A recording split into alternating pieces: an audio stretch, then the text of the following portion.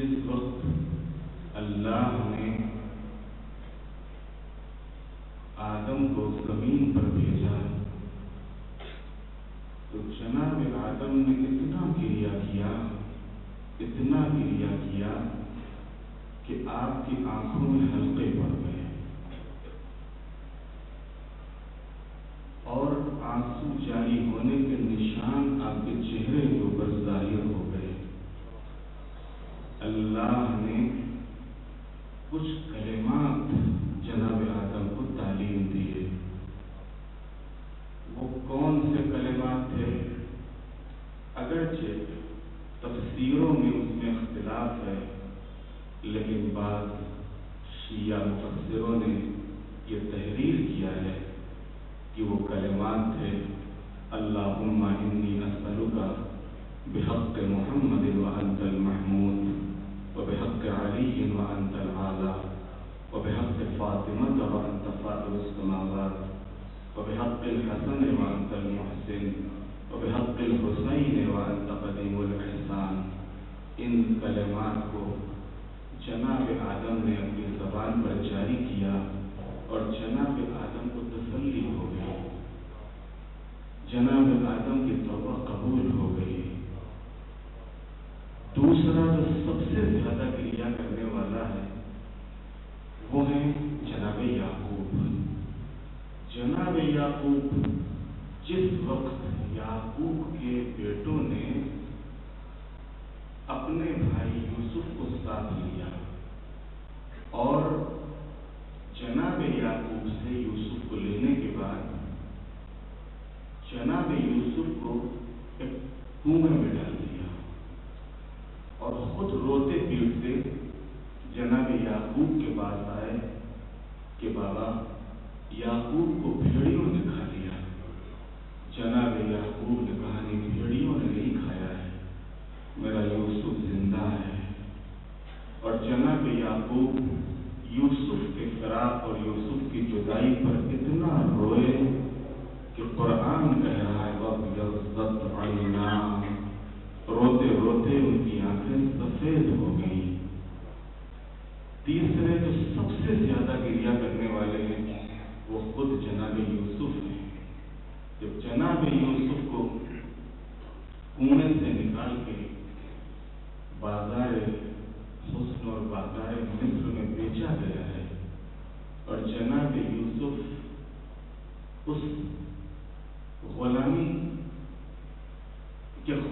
کے طور پر جب ایک بادشاہ کے محل میں پہنچے ہیں اور آپ کے اوپر زلیخا نے الزام لگایا اور اس الزام میں جناب یوسف کو زندان میں ڈال دیا گیا۔ جناب یوسف جس وقت زندان میں پہنچے تو جناب یوسف نے جناب یوسف کا کریا سن کر زندان میں جو دوسرے قیدی تھے انہوں نے شکایت کی۔ یوسف یا دن میں رویا کرو یا رات کو رویا کرو۔ تمہارے رونے سے ہمارے آرام میں خلل پڑتا ہے۔ تمہارے رونے سے ہمیں تکلیف ہوتی ہے۔ اس کے بعد جناب یوسف نے اپنا دستور بدل دیا تھا۔ یا دن کو رویا کرتے تھے یا رات کو گریا کرتے تھے۔ عزیزوں جہاں یوسف کے لیے زندان میں زندان میں موجود افراد نے شکایت کی وہی جو چوتھی ہستی سب سے زیادہ گریا کرنے والی ہے۔ یعنی جناب فاطمہ۔ مدینے کے لوگوں کو جناب فاطمہ کا گریا بھی پسند نہ آیا۔ اور امیر المومنین کے پاس آئے۔ اور آنے کے بعد شکایت کی علی فاطمہ سے کہو یا تو وہ دن میں گریا کیا کرے یا رات کو رویا کرے۔ جناب فاطمہ، رات کو اپنے بابا کو روتی تھی، دن ہو جاتا ہے تو میں ان کو ساتھ لیتی تھی، بقی میں چلی جاتی تھی۔ اور ایک درخت کے نیچے اپنے بابا کو یاد کرتی تھی۔ اور یاد کر کر کے رویا کرتی تھی گریا فرماتی تھی۔ ایک دن جب جناب فاطمہ بقی سے واپس آئی جاتا ہی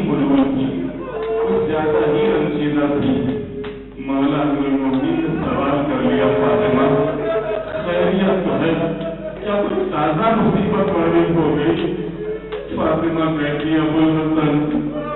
وہ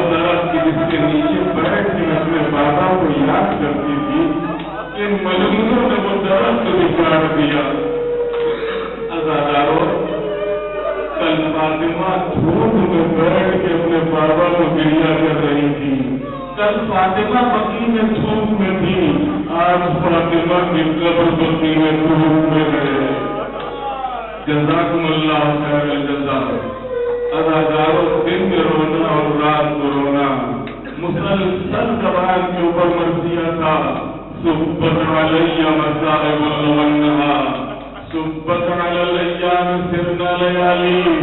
بابا آپ کے بعد اتنے مسائل پڑے ہیں کہ اگر یہ مسائل دنوں پر پڑتے تو دن رات میں بدل جاتے جزاکم اللہ خیر الجزا ازاداروں پانچویں شخصیت کہ جس کو سب سے زیادہ گریا کرنے والا ہمارے چھٹے امام نے بتایا وہ چھٹے امام کے چھت یعنی ہمارے چوتھے امام وہ آگے کربلا کے بعد چوتھے ایمان کی کیفیت یہ تھی، چوتھے ایمان کی حالت یہ تھی کہ جب بھی پانی سامنے آتا تھا، کربلا کرو کر کے آواز دے دیتے میرا